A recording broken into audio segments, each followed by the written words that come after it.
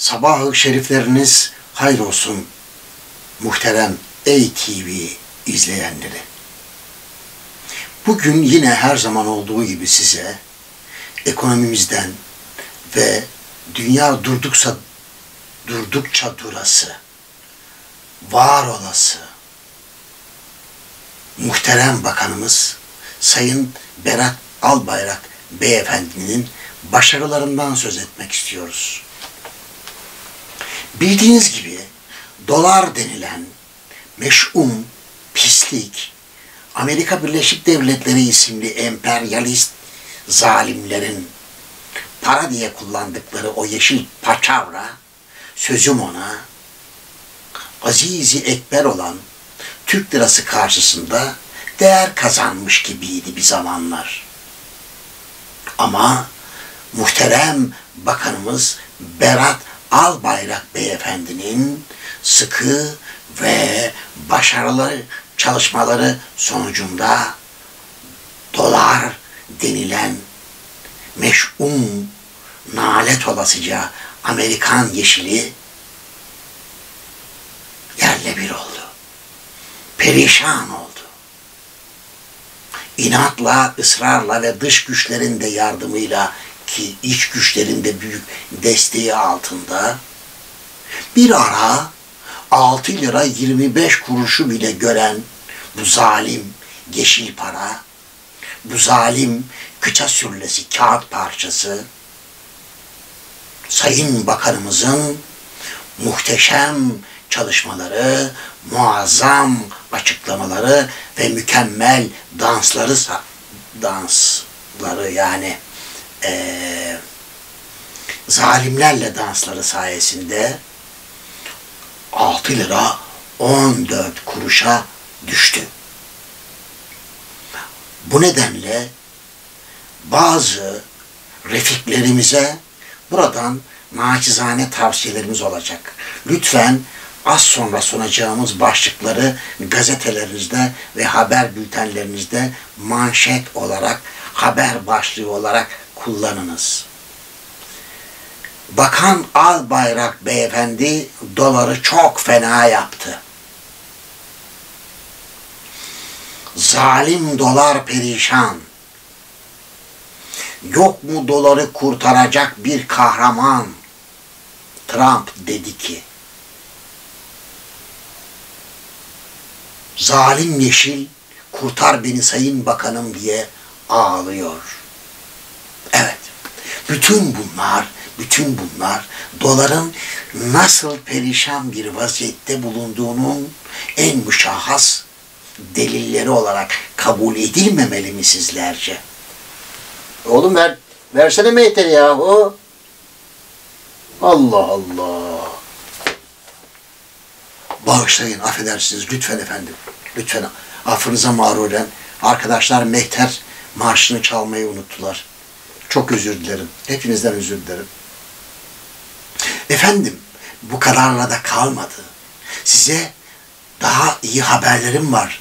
Daha daha iyi haberlerim var. Aa, kendimi tanıtmayı unuttum bu sabah. Heyecandan, mutluluktan olacak. Bendeniz ATV ana ankormanı Erhan Kan. Evet efendim. Bu soy ismi rahmetli dedeciğim, babamız ve ben kullanmaktan büyük şeref, onur duyuyoruz. Kan, evet biz kan seven bir ailenin çocukları olarak zamanında bu soy ismi almışız efendim. Çok kan dökmüşüz efendim. Kan derken tabii sadece bu bildiğimiz İngilizlerin blood dedikleri kırmızı bir sıvıdan söz etmiyorum. Bizim kan dediğimiz başka bir kandır. Onu da bir gün inşallah efendim Allah lütfeder de bana sağlık, sıhhat ömür verirse zat-ı şaheserlerinize anlatacağım efendim. Müsaadenizle efendim. Efendim, muhterem bakanımız Berat Albayrak Efendi'nin, beyefendinin çok daha büyük bir başka başarısı da İstanbul borsası konusunda kanıtlandı. Kanıtlandı değil, gösterildi. İspatlandı. Efendim, İstanbul borsası isimli dış güçlerin kumarhanesi olarak kabul edilen ancak Sayın Bakanımızın onu ekonomimizin Kabe'si haline getirdiği o muhteşem mekan, o muhteşem iktisat alemi Sayın Bakanımız sayesinde çok büyük bir faciadan kurtuldu. Dış güçlerin baskısıyla bir ara 88.300'e kadar düşen borsamız, İstanbul borsamız, o kutsal mekanımız, Sayın Bakanımızın başarılı çalışmaları sayesinde birden yükselişe geçti ve şu anda 89.100'e fırladı. Uzmanlar, bu işi çok iyi bilen uzmanlar ki bunların başında muhterem ağabeyimiz Necmettin Batırak beyefendi geliyor. Sayın Bakanımızın alacağı tedbirlerle İstanbul borsasının çok yakın bir zamanda 89.110, 89.111'e kadar çıkabileceği tahmin ediliyor. Daha doğrusu böyle bir şeyler bekleniyor. Pek muhterem ETV izleyenleri. Bildiğiniz gibi biz zaman zaman kötü haberleri de vermekte, vermemizle tanış, tanınıyoruz. Çünkü biz son derece realist bir televizyonuz. Hep iyi haberleri verip kötü haberleri halkımızdan saklamak olmaz. Bugün vereceğimiz kötü haber Katar milleti olarak tanınan aslında illet olan bir küçük zibidi devlete ait. Ulan eşek ola eşekler. Ulan şerefsiz Araplar. Ulan hani siz bize para verecektiniz 15 milyar dolar? He? Ne yapayım ulan ben sizin uçağınızı bedava vermişsiniz. Alın uçağınızı sokun kıçınıza ulan. Ulan biz dünyanın en başarılı helikopterlerini üretmiyor muyuz? Serseri Katarlı Arapları. Pislikler. Bir dünya satıyoruz her yere. Helikopter. Siz niye bizden almanıza gittiniz, Amerikalılardan aldınız, 4,5 milyar dolar verdiniz? Ulan bir dünya ihtiyacımız var. Tam da paraya en çok ihtiyacımız olan dönemde. Bizden niye almadınız? Verin parayı, alırsınız abi bir helikopterlerinizi de. Kaçakta mıyız biz? Muhterem dinleyenlerim, bazen böyle ben de, hani var ya bir tane zıptıkçı, Bayraktaroğlu mu ne? Bazen kikir kikir kikir kikir gülüyor. Bazen kaka kaka yapıyor. Bazen öfkeleniyor, bağırıyor, çağırıyor. Affedersiniz. Ondan etkilendim mi ne? Katarlılara biraz ağır laflar etmiş olabilirim. Sayın Prensim çok özür dilerim ne olursunuz. O anda canlı yayın olduğu için şu anda ağzımdan kaçtı. Yoksa sizi kırmak ister miydim Sayın Prensim? Çocuklar verin mehteri de Sayın Prensimiz de mehter marşında bir güzel oynasınlar. ya daha fazla götüremeyeceğim bu işi abi.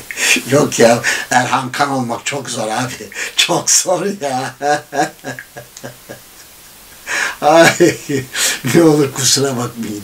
Lütfen kusura bakmayın. Ya canım bugün böyle yapmak istedi ya. Bu akşam yani. Bu programda canım böyle yapmak istedi. Ben her zaman böyle yapmam biliyorsunuz. Çok keyifliyim abi. Ya nasıl keyifli olma? Dolar düşmüş 6 lira 14 kuruşa ya. Abi daha dün hakikaten 625 kuruştu. Bakanımız yok. Görünmüyor meydanda. Görünmediği halde ya bir de görünse doların ta orasına koyacak vallahi. E zaten koydu. Ama ya insan bazen de acıyor be. Sizi bilmem ama acıyor. Ya dolar da olsa düşüyor. Abi orası burası vuruluyor. Kafası kırılıyor. Bacaklarına bir haller oluyor. Ya omurgası falan da kırıldıysa. Ha gerçi bu İbni o doların omurgası da yoktur. E, büyük ihtimalle yoktur. Ama abi insan acıyor be. Ya ben düşenlere acırım be. Vallahi. Siz inanmayacaksınız belki ama İstanbul Belediye Başkanlığı'nı kaybettiğinde AKP'liler ben çok acıdım reise. Hele Binali'ye içim yandı. O nasıl belül belül belül bakıştı öyle. Koyunlar gibi hani vardır ya zavallı koyunlar ot bulamadıklarında ya da yem bulamadıklarında böyle sahibinin gözünün içinde melil melil bakarlar. Nasıl üzgündü. Oysa ne güzel saat gece 23 sularında kazandık demişti. İstanbul Belediye Başkanıyım demişti. Ya ben ben böyle bir adamım abi üzülüyorum ya. Üzülüyorum ya. İşte dolar düşünce de üzülüyorum. Bereket borsa çok çıktı yine. Harika. Ve tabii borsa da yükselince keyfim yerine geldi. Şu andaki bütün keyfimin sebebi Sayın Berat Albayrak'ın başarılarıdır. Canlarım benim be. Süper ya, süper ya. Beş, kaç? 6.25'e çıktı 1 dolar biliyorsunuz. Ve bugün 6.14'e düştü. Borsa 89.100'e düştü. 88.300'e düştü özür dilerim. Şimdi 89.100'e çıktı. Abi daha ne istiyorsunuz ya? Ha Katar meselesine gelince yani Katar. Abi Katar ya bu.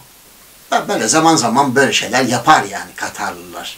Ama adamlara da kızmayalım abi ya. İki buçuk milyar dolarlık mı? Bir buçuk milyar, iki buçuk milyar dolarlık mı? Uçak hediye etti Cumhurbaşkanımıza ya. Abi bu adam demek ki bonkör. E helikopterleri bizden almayı versin. Yani neden kızıyoruz ya? Anlamıyorum. Bu Sözcü gazetesini anlamıyorum bazen. Neymiş efendim? Katar bize kazık atmışmış. Ya neden kazık atsın abi? Adamın yapmadığı kıyakçılık mı kaldı? Ya adam geldi. Para kazanmayan, hiçbir iş yapmayan, 40 milyar dolarlık tam palet fabrikamıza 50 milyon dolar yardım etti, para verdi. 25 sene alt tarafı, 25 sene çalıştıracak ya. Ya 25 sene dediniz ne ki ya? Göz açıp kapayıncaya kadar geçer. Ya kızmayın Katar prensine. Katar prensi iyi adam abi. 50 milyon dolar abi verecek şimdi bizim o fabrikanın yeniden yapılandırması için. E Amerikalıların da ihtiyaç var abi. Trump, e Trump da kötü adam değil ki ya. Çalışıyor, çabalıyor bir şeyler yapmıyor. Belki de adamcağızı görevden alacaklar. E belki şimdi Katar ondan 4,5 milyar dolarlık helikopter aldı diye adam görevde kalır. Ya yapmayın ya. Daha ne yapsın ya? Sayın Cumhurbaşkanımızın bindiği uçağı bedava verdi ya. 2,5 milyar dolar. Ya vermeseydi? Sayın Cumhurbaşkanımız ne yapacaktı? Evet daha 12 tane uçağı var ama abi arıza yapıyorlar. Zırttırı pırttırı arıza yapıyorlar. Yani ben de bazen şu bizim milleti anlamıyorum abi. Şimdi bak kendime de kızıyorum aslında. Kendime de kızıyorum. Ya Erhan Kan, Erhan. E belli ki er, Erkan Tan'ın taklidini yapıyorum. E ne yapayım abi tutamadım kendimi birden. E yanlış. Erkan Tan mükemmel bir gazeteci abi. Süper bir gazeteci. Abi kolay mı her gün pembe haber bulup bir yerlerden vermek, yayınlamak? Kolay mı ya? Ya Türkiye'de yaşayan bir gazetecinin her gün olumlu, insanları coşturan, mehteri verdiren, alttan ittiren, yukarıdan kaktıran haberler vermesi. Kolay mı abi ya? Ya bunlar zor işler ya. O nedenle aslında benim yaptığım ayıp biliyorum ama sevgili Erkancığım, canım kusura bakma ya sana biraz takılayım istedim ya. Yoksa seni kırmak ister miyim ya? Seni gücendirmek ister miyim? Sen mükemmel bir çocuksun ya. Aa, canlarım be. Bazen oluyor böyle şeyler ya. Hakikaten bazen de er, yani Erhan'ın tak şey pardon ne Erhan'ı ya. Erkan'ın taklidini yapayım derken kendime de geçirdim yani. E ben de bazen yani arkadaş bazen kıkır kıkır kıkır kıkır bazen kaka kaka kaka bazen öfkem burnumdan çıkıyor. Bazen küfür ediyorum onun bunun gibi. Yani düzeleceğim. Adam olacağım. Söz veriyorum adam olacağım. Ben de abilerim gibi güzel haberler vereceğim. Tatlı haberler vereceğim. Sayın Binali Yıldırım'a destek vereceğim. Sayın reisimizin ne kadar başarılı olduğunu, Türkiye'ye dört Türkiye daha kattığını, dört Türkiye daha katmadı ama en azından dört buçuk milyon Suriyeli kattı abi. Az iş mi ya? Kolay mı abi? Öyle kolay mı dört buçuk milyon Suriyeli bulup da getirmek Türkiye'ye her ay bin liraya çalıştırmak? Bak Rifat Hisarcıklıoğlu ne kadar memnun hayatımdan abi. 2500 lira vereceği adama, işçiye bin liraya yerine Suriyeli koyuyor. Yani bunları da görelim ya. ya görelim ya. Ya gelin el birliğiyle Sayın Reisimize, Sayın Recep'imize, Erdoğan'ımıza destek verelim ya. Sayın Berat'ımız Albayrak'ımıza destek verelim. Ya bakın abi bir dolar 6.25'e çıktı abi. 6.25. Şimdi bugün 6 lira 14 kuruşa düştü. Sakın münafıklık etmeyin. Daha bir hafta 10 gün önce 5.25'te falan demeyin. Deyin abi unutun abi onları. Geçmişle ilgilenmeyin. Zavallıları affedersiniz, muhterem başkanımızı ve damadını geçmişine hapsetmeyin. Bak ben biliyorsunuz insanları geçmişlerine hapsetmeyin derim. E, bir ay geçti üstünden abi. Bir ay önce dolar 5 lira 25 kuruş olabilir. Ona bakarsanız dolar bir sene önce 4 lira 24 kuruştu. Bir sene önce. 4 lira 24 kuruştu.